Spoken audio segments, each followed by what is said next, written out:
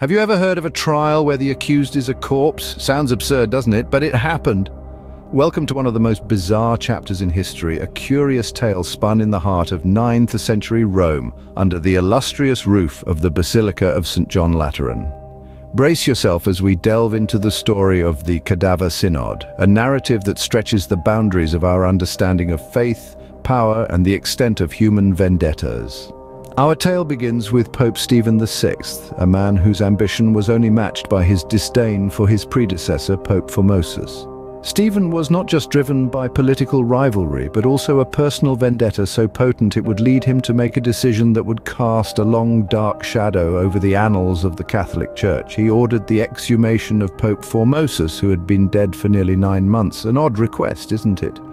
To understand this, we must journey back to the tumultuous and politically charged atmosphere of 9th century Rome. Pope Formosus, during his reign, managed to create a veritable army of enemies, Stephen VI being one of the most formidable. After Formosus's death, Stephen ascended to the papacy and, in a bid to cement his position, sought to discredit Formosus even in death. The stage was thus set for the Cadaver Synod, an ecclesiastical trial that would make the annals of history for its sheer audacity and grimness. The deceased pope was dressed in his papal vestments, seated on a throne and made to stand trial, with a deacon appointed to speak on behalf of the corpse. The charges, perjury, serving as a bishop, while a layman, and attempting to hold office in different dioceses simultaneously. As outrageous as it sounds, this trial was conducted with all the solemnity of a high ecclesiastical court. And so the stage was set for one of the most surreal trials in history, the Cadaver Synod. Imagine the scene, a dead pope propped up on a throne facing serious accusations. It's a sight that challenges belief, but it, it's a story grounded in reality. In a macabre display of rivalry and revenge, Pope Stephen VI leveled severe charges against the corpse of his predecessor, Pope Formosus. The accusations were severe and shocking, especially given the defendant's inability to respond. Formosus was accused of perjury, breaking church law by serving as a bishop while actually a layman, and attempting to hold office in different dioceses simultaneously. Now, if you think this sounds like the script of a dark medieval drama, you wouldn't be wrong. But the gravity of these charges was taken very seriously in the 9th century ecclesiastical court. Just as in any trial, there was a prosecution, a defense, and a judge.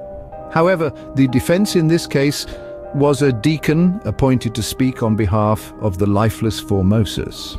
The trial was conducted with all the decorum and solemnity of a high ecclesiastical court, despite the palpable absurdity of the situation.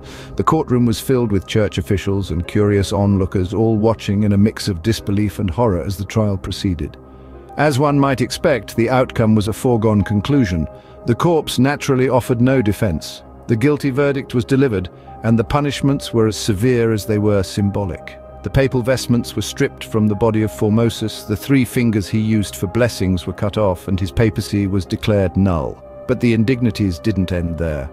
The body of Formosus was reburied in a graveyard for foreigners, only to be exhumed and tossed into the Tiber River by supporters later on. The trial concluded, and the punishments were as harsh as they were symbolic. But this was not the end of the story. It was merely the prelude to a backlash that would change the course of history and leave a lasting mark on the Catholic Church. In the aftermath of the Cadaver Synod, Rome was in shock, and the repercussions were swift. The people of Rome, horrified by the spectacle, turned their backs on Stephen VI. His audacious act of desecration did not go unpunished.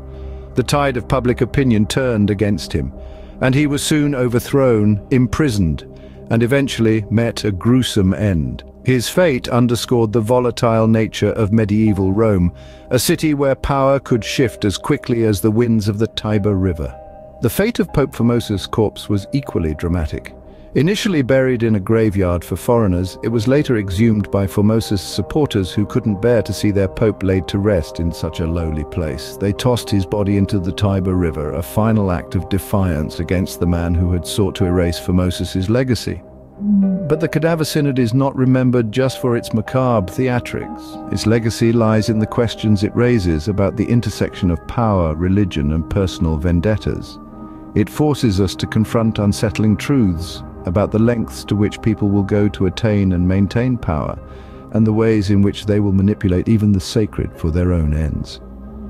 This event also highlights the dangers of mixing secular politics with spiritual authority. Stephen VI's desperation to legitimize his papacy led him down a path that ultimately resulted in his downfall. His story serves as a cautionary tale, a reminder of the potential pitfalls of wielding spiritual authority for political gain. The Cadaver Synod, a macabre event in history, serves as a stark reminder of the complexities of power, the dangers of mixing secular politics with spiritual authority, and the depths of human folly. It's a tale that, despite being over a thousand years old, continues to resonate today.